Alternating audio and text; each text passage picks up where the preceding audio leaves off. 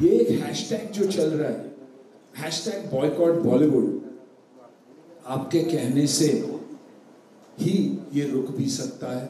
लोगों को तक ये पहुंचाना बहुत ज़रूरी है कि हम अच्छा भी बहुत काम कर चुके हैं। हमारे बीच एक रॉटन एप्पल तो कहीं भी होता ही है, लेकिन उसमें हम सबको आप लोग नहीं गिन सकते कि हम सब ऐसे हैं।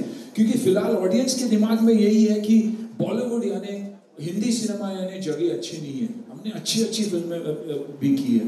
मैं बॉर्डर जैसी फ़िल्में भी था और बाकी काफ़ी अच्छी फ़िल्में में रहा हूँ। तो यही है कि ये जो परसेप्शन हमारा चल रहा है कि हैश टैग बॉयकॉट बॉलीवुड वो हम सबको मिलके उसे कैसे हटाया जा सकता है? ये जो ट्विटर पे ट्रेंड चलता रहा है, वो कैसे रोका जा सकता है?